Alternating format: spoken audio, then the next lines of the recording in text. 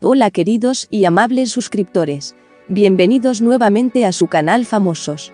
Recuerda dar clic en suscribirse y activar la campanita para que no te pierdas de todo el contenido actual del entretenimiento que tenemos preparado para ti. Empecemos. No quería ser intubado. Hija de Armando Manzanero habla sobre salud del cantautor. La hija de Armando Manzanero, María Elena Manzanero, mencionó que su padre tampoco quería ingresar al hospital Armando Manzanero se encuentra hospitalizado desde el pasado 17 de diciembre tras dar positivo a COVID-19, por lo que en los últimos días su hija, María Elena Manzanero, ha informado sobre la salud actual de su padre.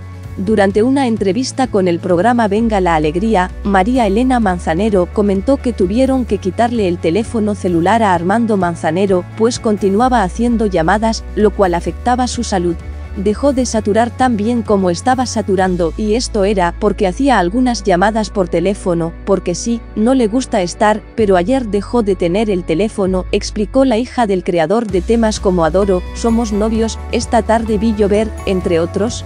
Asimismo María Elena destacó que Armando Manzanero no quería ir al hospital y a pesar de todo, el músico logró entrar de pie a urgencias.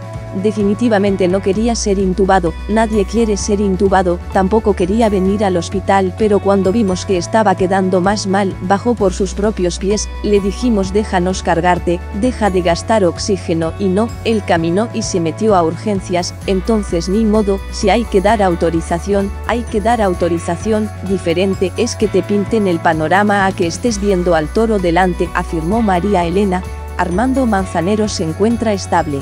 La hija de Armando Manzanero también enfatizó que actualmente su padre se encuentra estable. Sé que cuando le pusieron las puntas, volvió a saturar a 94, pero ya no tenemos ninguna información, espero que sean buenas, dijo. Hemos llegado al final, pero tu opinión es muy importante para nosotros, déjanos saber qué opinas en la caja de comentarios y por último, no olvides compartir con tus amigos y darle like. Hasta pronto.